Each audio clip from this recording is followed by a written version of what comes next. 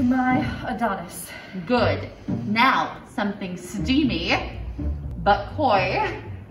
I've glimpsed you. Good. Oh my god, you're dreamy. Not very coy. You are a mountain ram. Madame. I must meet you tonight! Madame!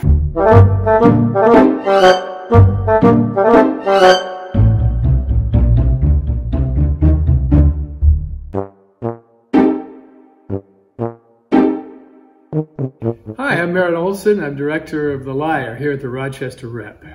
It's Paris, 1643, and a country bumpkin with an incredible ability to fabricate stories finds himself in a series of complications and has to lie to get his way out of it.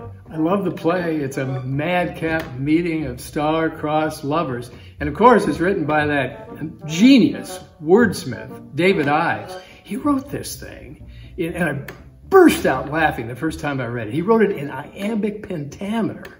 De-dum, de-dum, de-dum, de-dum, de-dum. But don't to worry about it because it's readily accessible. You're going to enjoy it. Well, I think after all the things we have been through for the last three years, wouldn't it be great to be able to come to the theater, just kick back, have some family-friendly laughs?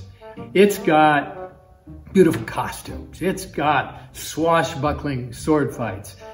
It's got some silly surprises as well. We think it's going to tug at your heartstrings. We've got some terrific actors. We have some of the best area artists doing our lighting and our sound and our set.